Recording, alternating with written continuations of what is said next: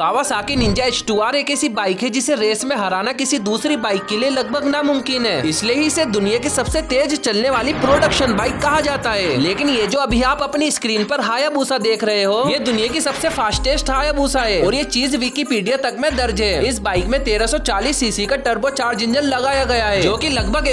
H P की maximum power produce करती है जो की निंजा एच के पावर से तीन गुना ज्यादा है और अगर बात की जाए कावासाकी निंजा एच की टॉप स्पीड के बारे में तो इसकी टॉप स्पीड 400 किलोमीटर प्रति घंटा है और वहीं टर्बो चार्ज हायाबूसा की टॉप स्पीड की बात करें तो इसकी टॉप स्पीड 502 किलोमीटर प्रति घंटा रिकॉर्ड की गई है इसलिए ही टर्बो चार्ज हायाबूसा के सामने निंजा एच कुछ भी नहीं है और दोस्तों अगर इन दोनों बाइक्स की कीमत की बात करे तो